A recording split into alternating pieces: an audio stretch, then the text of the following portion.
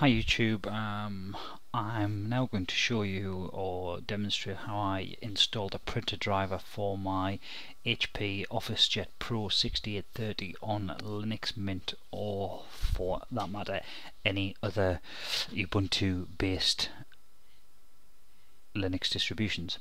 Um, so conveniently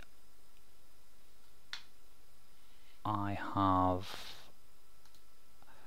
searched for uh, HP 6830 Linux and it's actually this first one you need here the HP LIP opensource.com and once you click here it's as simple as going to download.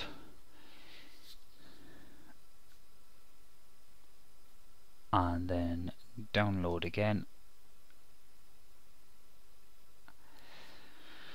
So what will happen now is um, the file will download hopefully and I'll just place it on my desktop and save it there.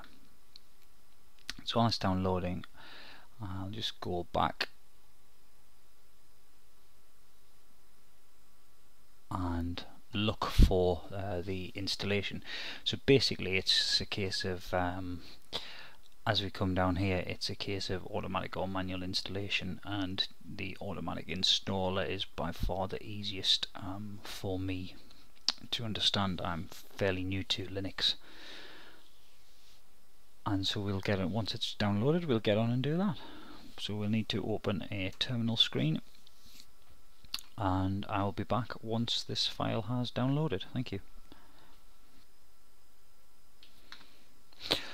Okay, well that is now uh, downloaded and so we'll show that in the folder um, and here we have it on the desktop. So it's basically a simple command of sh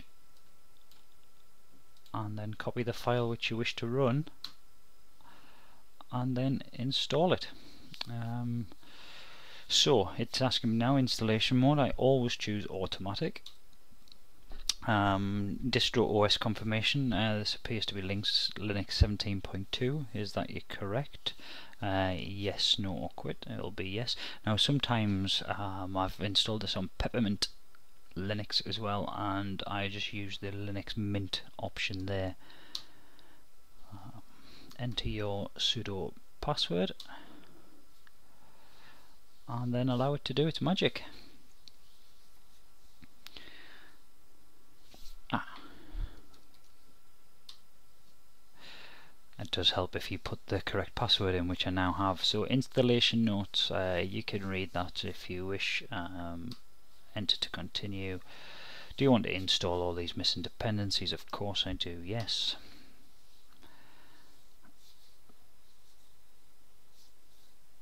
And then it will proceed to install and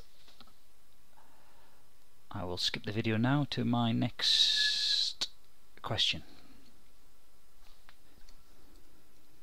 So here we have um, the next question. Do you want to um, the driver looks like it already exists in may conflict with the new one being installed. Do you want to remove and install or quit?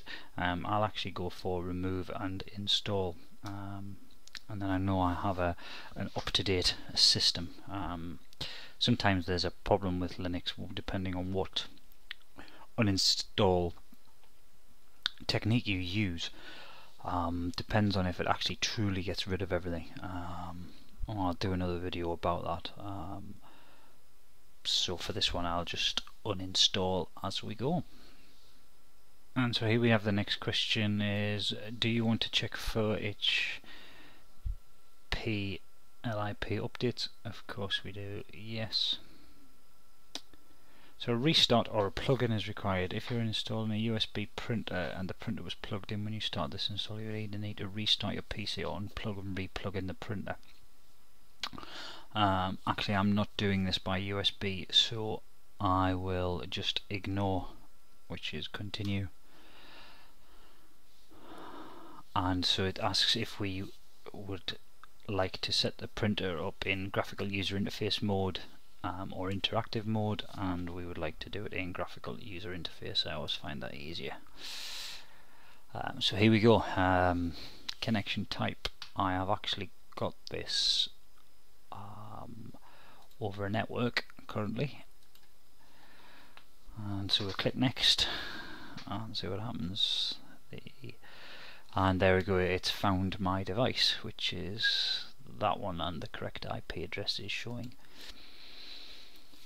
And click on next and this will take us to a device manager set up another screen um, which we can add a printer name, a description, a location. Uh, if you have multi printers in multi rooms, um, I don't. I just have the one printer, and I don't need to send a test page to a printer, so I will just continue and add printer.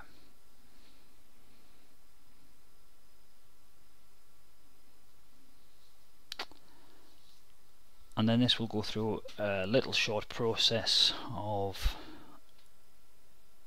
adding the printer and it is now done. If you uh, look down here we have the printer there. And in the bottom right hand corner of the screen we have the HP logo which basically shows my printer and the HP device manager. Now the HP device manager comes with this is pretty good and just nearly the equivalent of um, the Windows version. Um, but I will show you that in a different video. So anyway that's all for now. Um, I hope this has been useful for you. We will see you again soon